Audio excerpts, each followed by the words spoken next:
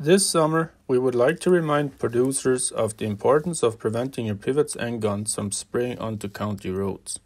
Excess water on roads is a safety concern. When driving down a dry road, hitting a sudden wet patch from an end gun spraying water onto that road can cause drivers to lose control of their vehicles.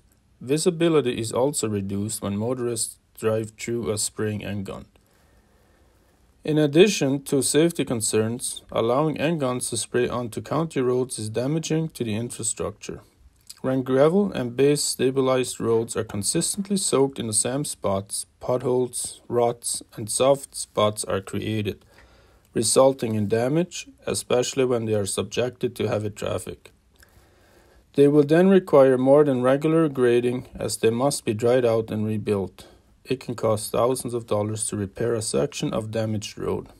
Water on paved roads also causes extensive damage as it can penetrate and deteriorate the pavement subgrade, another costly fix.